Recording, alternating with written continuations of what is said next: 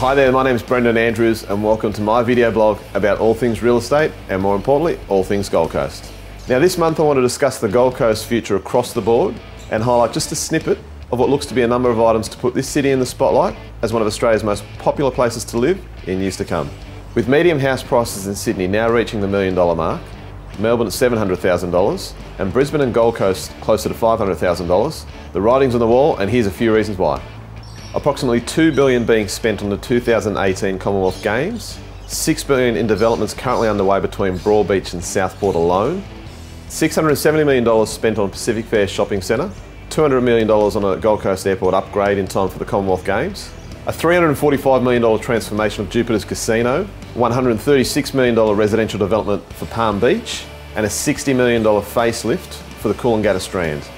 These are just a few of many items currently underway on the Gold Coast. And with a growing population, including many coming from interstate, I can't wait to see this city shine in years to come. If you'd like to keep on top of all things real estate, including all the latest property research, feel free to like my Facebook page, Brendan Andrews Property,